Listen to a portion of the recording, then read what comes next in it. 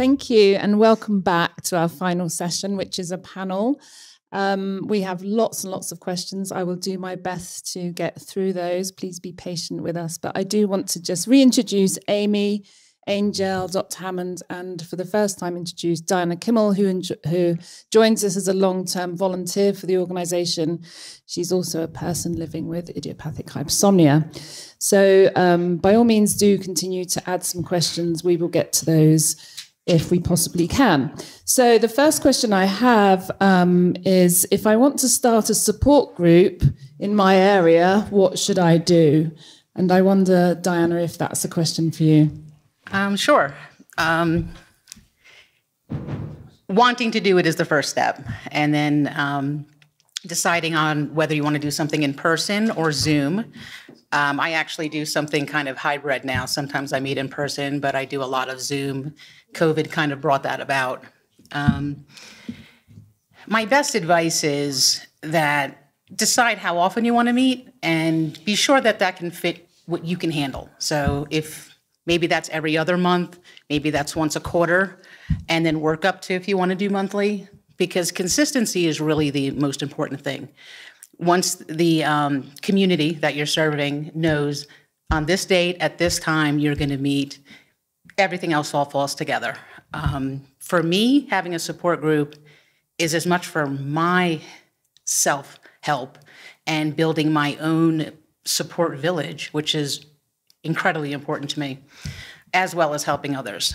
Um, I uh, I basically just do open dialogue. We talk just about what's affecting us at most at that moment. Um, something somebody's having a problem with, we build on that. There are times that I have a special guest, like Anjel has uh, been a part of my support group meeting and has been able to ask questions. I've had doctors um, attend as well again, you can make it as small or as big as you want it to be. Um, just availability is it's it's so appreciated in the community. If anybody ever wants help with it, I am more than happy to help um, out starting up one. I'm actually starting helping one um, in the uh, Upper Pacific Coast. That should be starting in April. But you can email info at hypersomniafoundation.org and they can get you in touch with me. Where can people find your support group if they just want to go online and find out where you are? Mine is in Atlanta, and um, I do have a Facebook group, Atlanta Hypersomnia Support Group. You could find me there easily. And um, again, mm-hmm. info at hypersomniafoundation.org okay. will get you in touch with me yeah. if you can't find me on Facebook. Yeah, that's excellent. Thank you. Uh, we will direct any um, detailed questions on email through the info at address to Diana. Okay, I have a question about brain fog, and this came up, um, I think, Amy, during your presentation. Um, so I'll read that. So your story, Amy, mirrored mine. I was a competitive dancer and minored in dance, and my symptoms were manageable, but I could sleep standing up.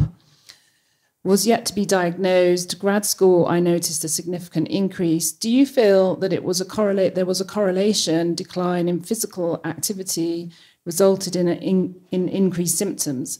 I was diagnosed in my late 30s after attempting to obtain my doctorate. The brain fog is causing my doctorate program to pause.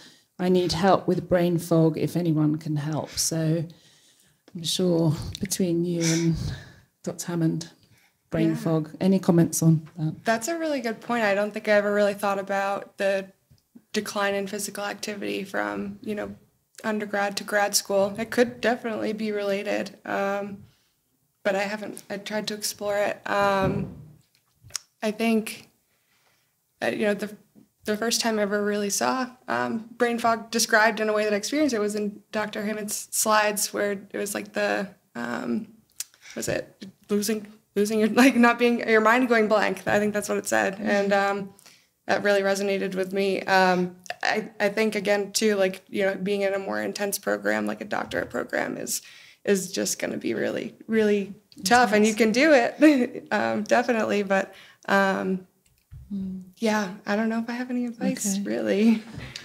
I'm not sure if we've identified a correlation exactly. Um, uh, that includes physical activity, emotional factors, of stress of a variety. Um, what we do see pivotal is perhaps exposure to certain viruses and illness that certainly have an impact, but really remain unexplained.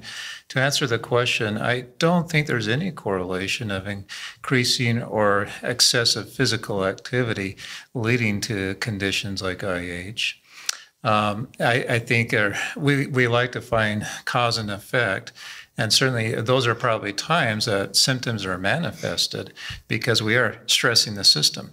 And so, especially in schooling, when we're more likely to be very physical and then emotionally stressed and with sleepless nights, or partly. And I think those are at least contributing factors in terms of how we feel.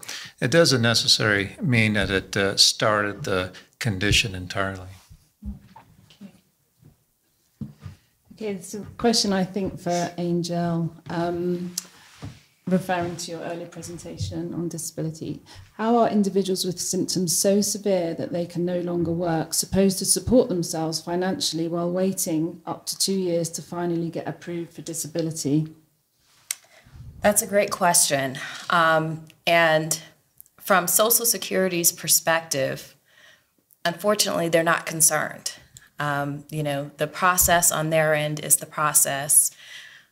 From my perspective, um, I, you know, I really try to make sure that people are aware of options like short term disability and long term disability while they're still working, so that in the event that they do become disabled, you know, according to Social Security's definition and have to go out of work, that instead of resigning from your job or being fired from your job, that you go ahead and you utilize the short term disability that you've paid for um, or that your company has paid for, and then utilize the long term disability benefits.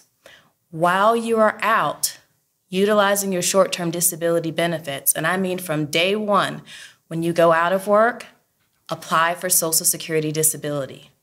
So while you are still receiving some income through your employer, even though you're not physically working, you are also applying for Social Security disability and you're still able to maintain your income or some income. When you receive short term or long term disability, typically you're receiving about 60% um, of your income while you were physically working. So it is a reduction, but it's better than not having any income at all. If that is not an option to you, unfortunately, you will have to rely on the support of friends or family um, while you're going through the process. Or if you're able to find some part time work, um, you know, every bit helps. And so if you're able to find some part time work that you're able to sustain, then that can at least relieve a little bit of the financial um, burden while you're going through the disability process. But other than that, there aren't any other options, unfortunately. Okay, thank you. That's another sort of follow up question, I think, Anjel. I'm in the process and have been on my company's disability for three years. Thank God for long term. I already got denied once. I have IH among other things, but they didn't even use my two main reasons for my disability claim breathing issues and muscle fatigue, but used a few of my other chronic issues that aren't even as severe. Any reason you think they may have done that? So, I don't know um, because we're talking about the long term disability. So, long term disability insurers, they have their own rules, which are distinct from Social Security. So, they have an entirely different process of qualifying you for benefits. Um, what I would recommend that you do is to consult with a long term disability um, attorney to see, you know, what your options are. But, you know, if you're continuing to receive the benefits, that's a good thing.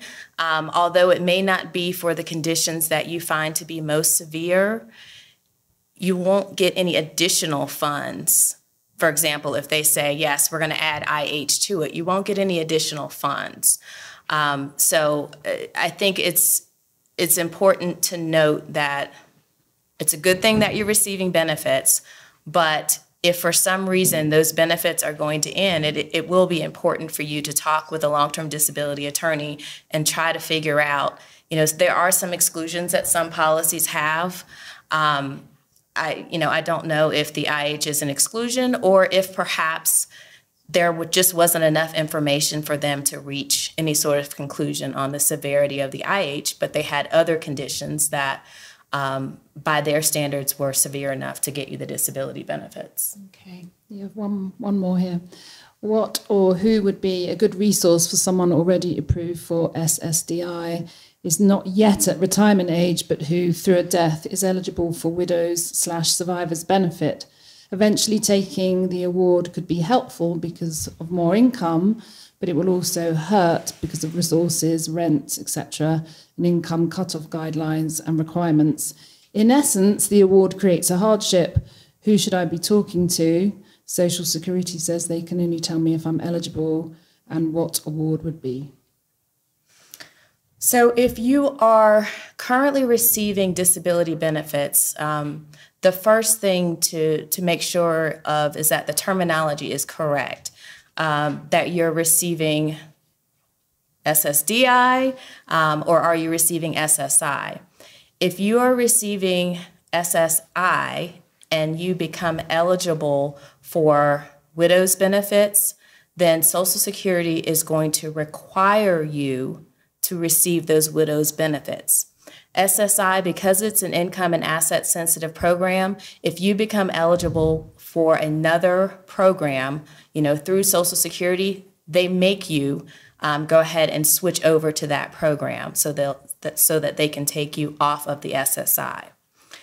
If, on the other hand, you are receiving SSDI and you may be eligible to receive more money from the widow's benefits, then you'll want to consult with SSI, or excuse me, with SSA, with Social Security. Make sure that you know how much money you're entitled to with the widow's benefits, and they can help you weigh the options um, to see which would be most beneficial for you. Okay. Um, and here, Jules says, should I speak to an attorney before or after my first application? And are you taking new clients? I'm in Atlanta and I've heard your name come up before. okay. Um, yes, I am always accepting new clients, so feel free to reach out to me. My personal preference as an attorney, and there are other attorneys who will disagree with me, um, is I like to, if at all possible, start working with you before an application is filed because I want to make sure that the correct application is filed, that the correct information is provided to Social Security, so that there won't be anything down the road that we need to try and fix. Now, most things we can fix, but some things we can't. So that is my personal preference. Um, there are other attorneys, actually, a lot of attorneys, that will say to you, I can't help you until you get a denial. So it really boils down to your personal preference. Um, you know, do you want to kind of undertake on your own applying for benefits, making sure you submit the right forms, make sure the correct information is provided. Um, if that seems daunting, you're not alone. Um, and I'm happy to talk with you, so please contact me. Thank you. And again, if you um, want to get hold of us at info at, we can direct any inquiries to Anjel. Um, okay, so this is an anonymous um, attendee, I think, for you, Dr. Hammond. And the question says This is an embarrassing question because of how severe my IH is. I experience nighttime bedwetting because I'm incapable of waking up to relieve myself. Would adult pull ups be something a doctor could prescribe? I never knew the whole thing with prescribing Fitbits and stuff.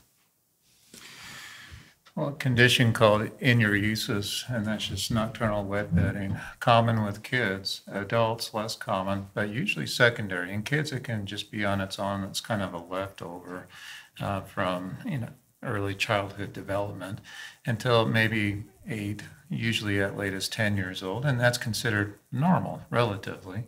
Uh, for adults with acquired enuresis, it's often secondary. And so the question now specific to idiopathic hypersomnia, of course, uh, if a person has such sleep stupor or uh, uh and and that sleep inertia, uh, they're unable to respond to uh, common cues, such as a full bladder. And so that can happen, and it can happen to other conditions, including obstructive sleep apnea, and that's actually more common. So if this person has not had a complete evaluation, I would suggest looking at other factors that can contribute to enuresis. And now there are medications. And so that would be consulting with your physician in regards to managing uh, uh, the enuresis, meaning what can you take to help reduce a full bladder? Um, or what are behaviors we can do, and, and that might be common sense, but in terms of limitation of fluid intake at a certain time, and, and then maybe even having scheduled bathroom visits at night. But if you have a hard time responding, waking up to a full bladder, you might have a hard time waking up to an alarm as well. So, mm-hmm. uh, but to note, there are there are medications that can help. So something to consider. Okay, thank you. Okay, another um, medical question. I think: Do genetic markers for narcolepsy matter with IH? Oh, the answer is no. Um, the genetic markers, HLA subtype, the haplotypes, um, we've identified uh, one major one with narcolepsy. Um, but the, we haven't identified any crossover relationship with idiopathic hypersomnia. Uh, no genes to my knowledge in terms of uh, isolating any genetic anomaly uh, with idiopathic hypersomnia to date, uh, but that could change soon. Mm-hmm. Okay, this is a question um, between IH and depression, again for Dr. Hammond, I think. In regard to psychiatric comorbidities, have studies investigated the course of the illness, illnesses? For example, does the sleep disorder precede or follow psychiatric diagnosis? Wondering how often IH is misdiagnosed as depression, given some overlapping symptoms. Yeah, this is the conundrum. Uh, and quite often, and this bewildering in sleep medicine in general, and because there's such a large comorbidity and overlap among among psychiatric problems.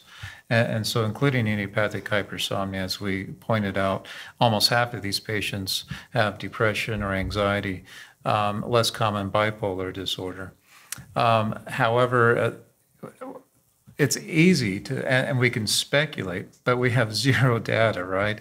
Uh, these are simply observational studies that are fairly new of people with IH that have comorbid psychiatric disease. Um, but there is a strong correlation with these. And yes, absolutely, a person could have a mood disorder that predates the diagnosis of IH. Uh, however, with good uh, retrospection, we may identify they probably had IH all this time. So, with careful analysis, sure. But what we have so far are observational data uh, that we've gleaned from to suggest okay, we have a, a significant risk of having comorbidities of this type, uh, but uh, we and, and, some idea on the prevalence. Uh, but in terms of actual the correlating with the, the timing of the diagnosis and preceding problems, uh, it's really just guesswork right now. Thank you. Um, so, with regard to having IH and a general anaesthetic, here's a question from Beth. Who do you suggest to help complete the anaesthesia care plan? A primary care physician or a sleep specialist? Oh, heavens. um, well, number one, like our dilemma we, we've discussed already, is just uh, uh, under or misinformation, even among medical professionals. And, and so and I would assume also anesthesiologists and surgeons or other proceduralists may be less informed about IH.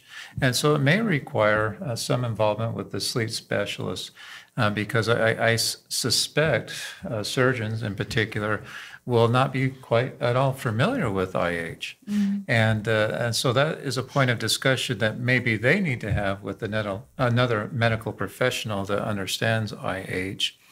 But then I think patients really need to be their own advocate. And so maybe asking those questions specific to the anesthesiologist, to the procedures. Are you familiar with IH? Are you familiar with the potential complications? And uh, these medicines that may interact with the anesthesia, opiates, among other therapies. So I, I would encourage patients to be their own advocate um, and to help these procedures be aware, because the chances are they're not going to be. And in addition, uh, logistically, trying to get a sleep medicine physician connected with the surgeon, that's a challenge in itself. Uh, everybody's busy. And, and, so, if anything, be your own advocate. Okay, it's a great message. And that speaks very much to, to Amy's presentation as well be your own advocate. Okay, I think this might have been addressed, but I don't want to miss it. Is there a link to concussions in later having IH? Or perhaps that means in developing IH at a later date?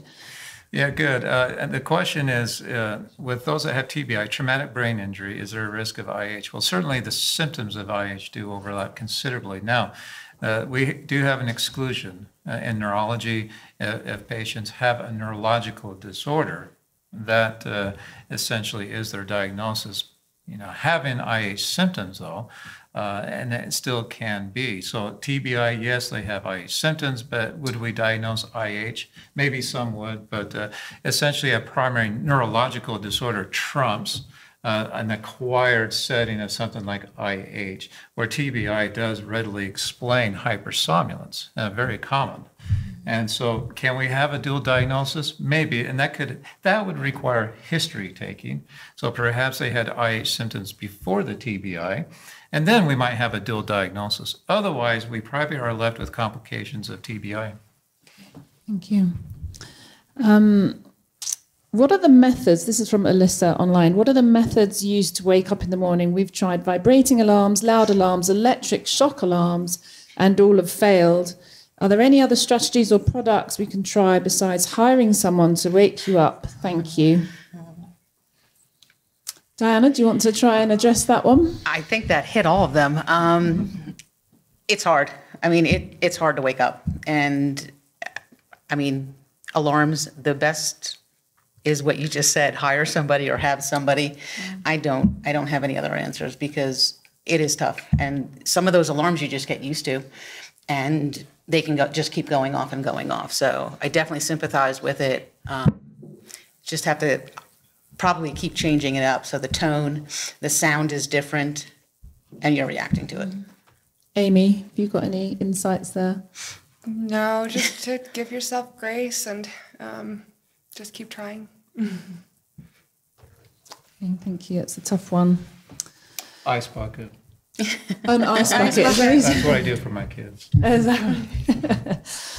okay, ice bucket. That's the new one. Um, Okay, so an anonymous an, an, anonymous question: Any advice for people with multi multi morbidities, IH, POTS, diabetes, etc., that take multiple medications and symptoms that clash with one another?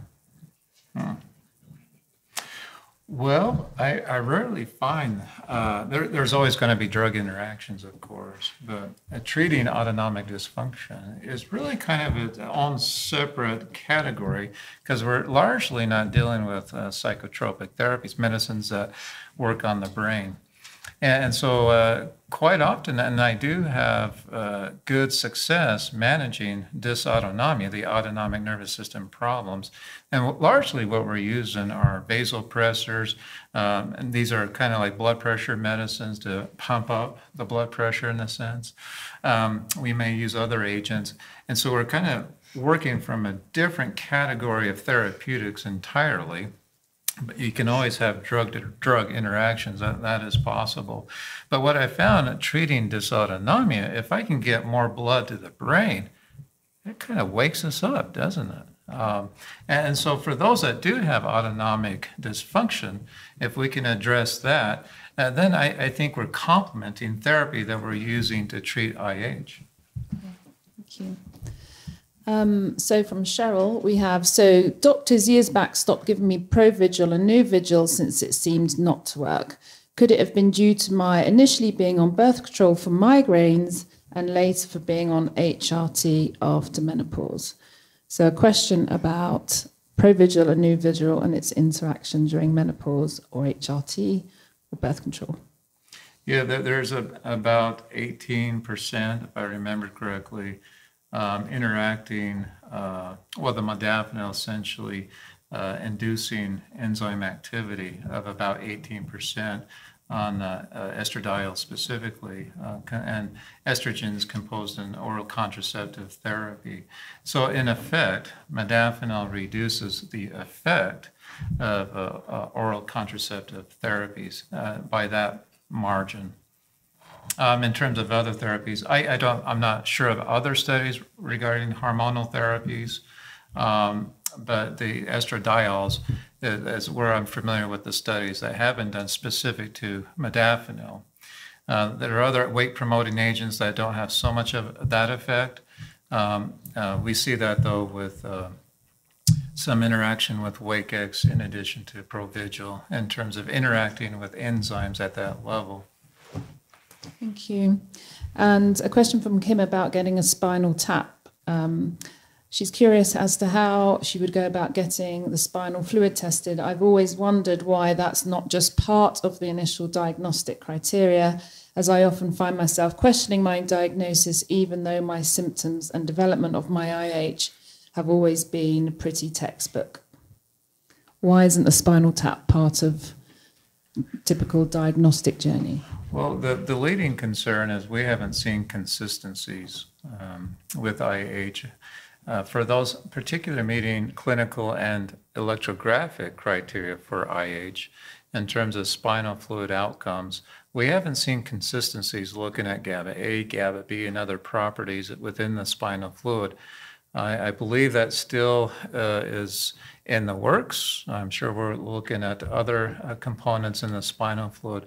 But as of now, it's not a requirement for the diagnosis. And by the way, uh, spinal taps are not necessarily benign. And so it's, although I do many of those in my office, um, it, it, can have complications. Um, and some of those complications can be permanent. And so it's not a convenient and it can be a very expensive a diagnostic assessment.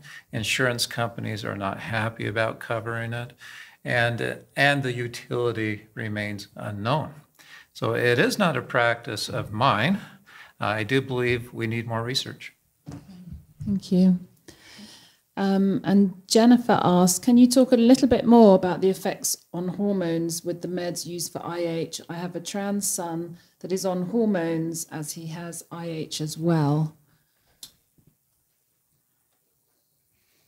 I am unfamiliar with those types of hormones. Again, I'm only familiar with uh, uh, estradiol types that we see with oral contraceptive therapies. And that's limited studies regarding Provigil, Wakix. Okay, thank you. Anyone got any comments on that question? Hmm. It's a difficult one to answer, I think.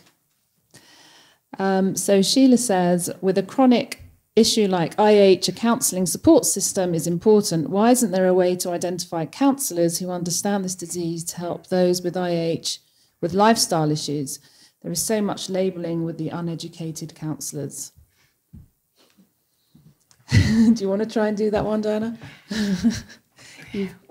so the question is, why is there not um, counselors? A way to find a counselor? Um, counselors who understand IH and well, I think inherently we don't have the doctors, the PCPs, the sleep doctors that don't they don't understand IH. So going to a um, you know a therapist or a uh, counselor, it's probably going to be less likely. Um, I do know, I mean, of Dr. Munt mm-hmm. that um, does She's, some cognitive behavior yeah, therapy for IH specific. Mm-hmm. Um, you can look her up. She's at Northwestern, I think. I do. I do yeah. believe so. So, um, and I, I think she'll share information with mm-hmm. another therapist. I think maybe you'd have to look into that yeah. further. I wonder whether just the resources. Sorry, Diane. I was just going to say sometimes it'll help if you look for a therapist who treats chronic illnesses. Right. And they should be open to being to educating themselves about the Right. So that's helpful. Finding a specialist who um, actually is familiar with chronic disease, chronic disorders, chronic health issues. Uh, it's probably a good place to start. Um, and education, I think in terms of again advocating for ourselves and taking information about IH to to our healthcare providers and our counsellors. But that's unfortunate. I think that's sorry. did I just wanted to add, I think, you know, finding a therapist or counselor that is a good fit in general is a really difficult thing and it's so important. And, um, you know, just adding the, the chronic illness and have, making sure someone un- understands that is really, really important. All right, any other questions? I think we're almost there. Um, I did want to extend thanks again to all those who've helped set today up, particularly our presenters, Dr. Hammond, Anjel, Amy, Rebecca. King has left the room for now, and Diana for joining us for the panel. Um, and to our sponsors again for enabling us to pull off this event and for providing us with resources to um, continue with our programs and events for the rest of this year. So please do join us for Unite. Um, look us up on social media and sign up for our newsletter, as we mentioned. Our website is a great resource um, that's there all the time. So we very much look forward to meeting with you at these events and online. So thank you.